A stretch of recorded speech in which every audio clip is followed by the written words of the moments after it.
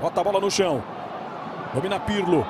Joga mais centralizado com o autor do gol, André Apoli. Ele limpa, a bola chega na frente para Aquilani, o goleiro saiu para fechar o ângulo, voltou!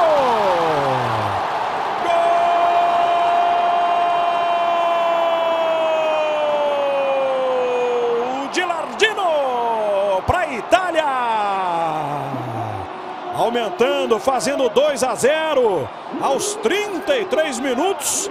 Você viu Balotelli, jogador que hoje não está relacionado, batendo palmas, aplaudindo o bom lance ofensivo criado pela Itália.